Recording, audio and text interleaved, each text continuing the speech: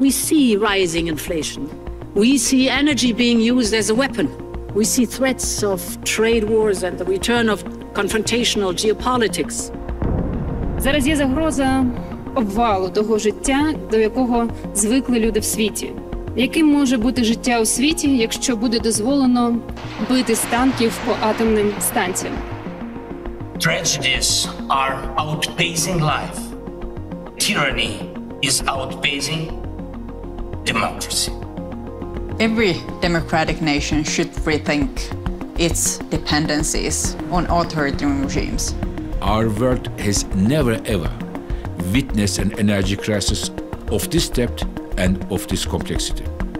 Inflation, by all accounts, however you look at it, is way too high.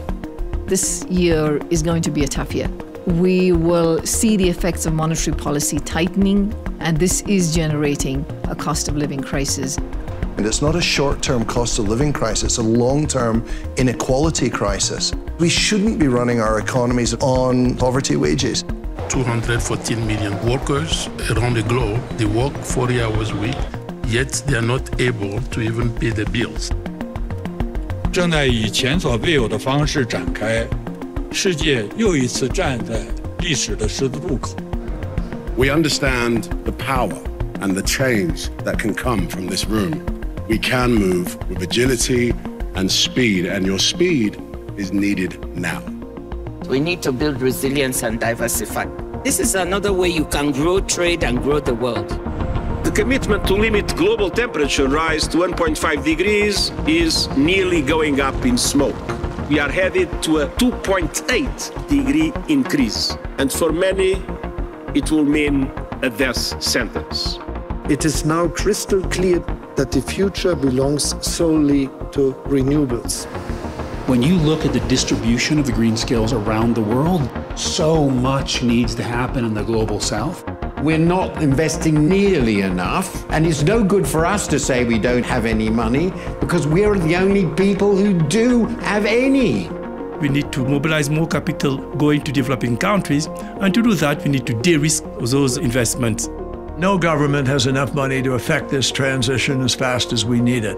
In the end, it's going to be private sector investment.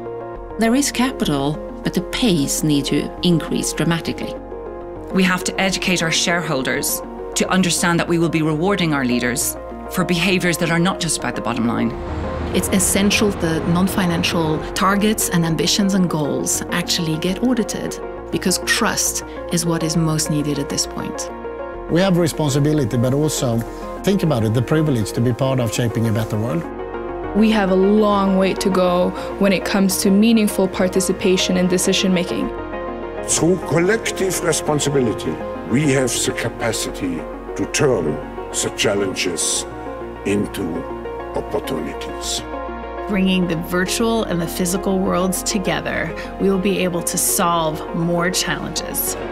A world that is more integrated is a world where we are connected on the basis of our humanity and we recognize how much we depend on each other.